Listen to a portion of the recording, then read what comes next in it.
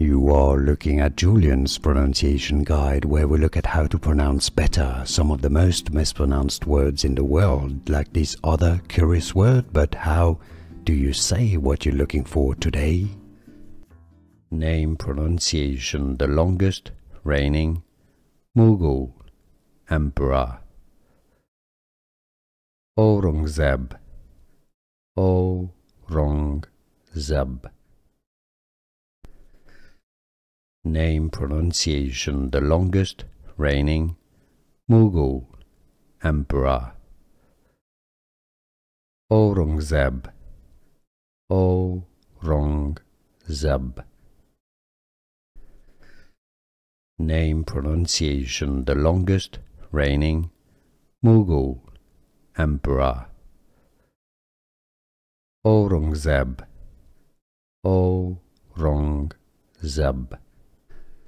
here are more videos on how to pronounce more confusing words and names too many mispronounced. Like this video if you found it useful, I appreciate your support. I'll see you soon and thanks for watching.